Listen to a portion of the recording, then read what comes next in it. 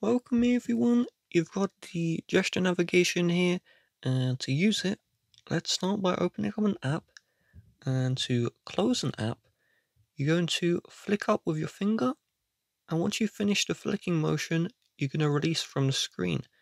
So it should look like this and this. If you want, you can do a shorter flick as well. There you go. And now to access the multitasking, you want to do the same motion, but once you've done the flicking motion, you're going to keep your finger on the screen for half a second, then you're going to release.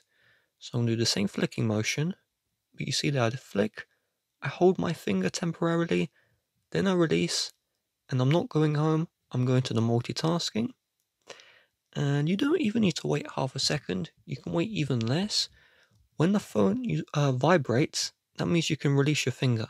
So I swipe up hold, and when I hold, I feel that vibration, and immediately when I feel that vibration, I can release, and you can see I can go into the multitasking quite quickly.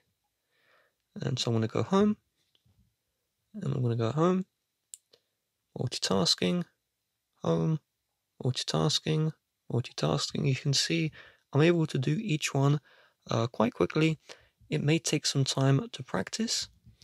You will also notice there is no back button.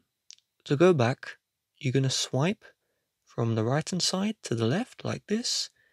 And you see that back arrow? When you see it, you release and you go back. And you can do a little quick uh, flick motion, boom. And you can do it from the left hand side as well, boom, boom, boom. And with that being said, if you'd like to help support the channel, please do check the description. Bye bye.